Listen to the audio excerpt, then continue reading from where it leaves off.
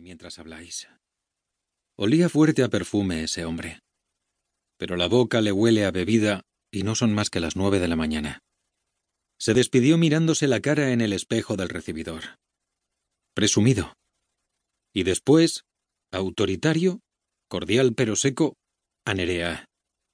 No tardes. Cinco minutos, le prometió. Luego resultaron quince. A solas, a su madre, que aquel viaje a Londres significaba mucho para ella. Me cuesta imaginar que pintes algo en las conversaciones de tu marido con los clientes. ¿O es que sin decirme nada te has puesto a trabajar en su empresa? En Londres voy a hacer un serio intento por salvar nuestro matrimonio. ¿Otro intento? El último. Y esta vez, ¿cuál será la táctica? ¿Te quedarás a su lado para que no te la pegue con la primera que le salga al paso? Ama, por favor, no me lo pongas más difícil. Estás muy guapa. ¿Has cambiado de peluquería? Sigo yendo a la misma. Nerea bajó de pronto el tono de voz.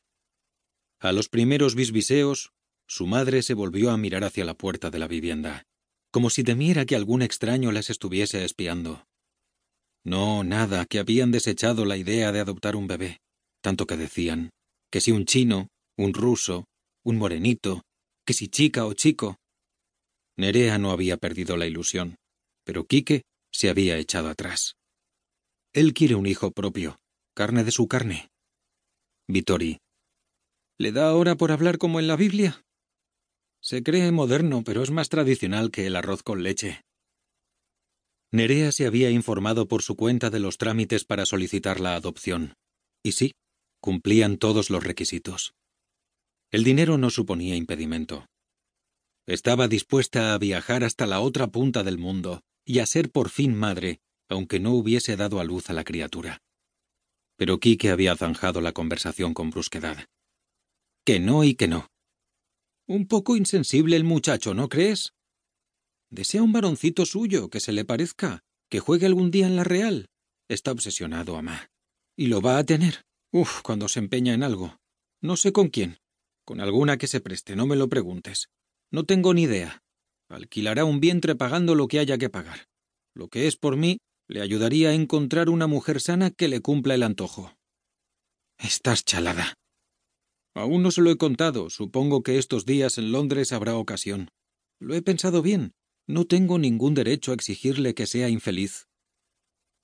Rozaron mejillas junto a la puerta de la vivienda. Vittori. Que sí, que se arreglaría sola, que buen viaje. Nerea, desde el rellano, mientras esperaba la llegada del ascensor, dijo algo sobre la mala suerte, pero que no debemos renunciar a la alegría. Después, sugirió a su madre que cambiara de felpudo.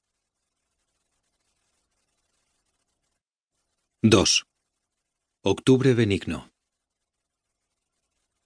Antes de lo del chato creía, pero ahora no cree. Con lo devota que fue de joven, si hasta estuvo en un tris de profesar. Ella y aquella amiga del pueblo de la que más vale no acordarse. Las dos se apearon del propósito a última hora, con un pie en el noviciado. Ahora todo eso de la resurrección de los muertos y la vida eterna y el Creador y el Espíritu Santo le parecen patrañas. Le irritaron mucho unas palabras del obispo haciendo como que. No se atrevió a negarle la mano a un señor tan importante. La sintió como una viscosidad. En cambio, sí lo miró a la cara para expresarle en silencio, con la luz de sus ojos, que ya no era creyente.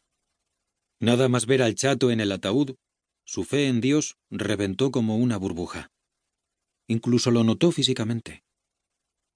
Y sin embargo, de vez en cuando va a misa, impulsada quizá por la fuerza de la costumbre. Se sienta en un banco de la parte posterior de la iglesia, mira las espaldas y cogotes de los asistentes, habla consigo misma. Es que en casa hay mucha soledad. Ella no es de meterse en bares ni cafeterías. ¿Compras? Las justas. Se le esfumó la coquetería. ¿Otra burbuja? Que tuvo antes de lo del chato. Y porque Nerea insiste que si no, Llevaría las mismas prendas de vestir día tras día. En vez de entrar en las tiendas, prefiere sentarse en la iglesia y practicar su ateísmo silencioso. Se tiene prohibidos la blasfemia y el desprecio a los feligreses allí reunidos. Mira